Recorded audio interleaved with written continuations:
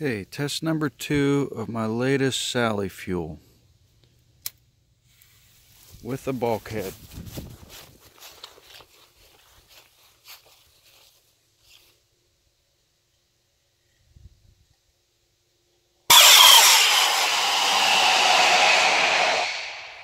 Holy crap.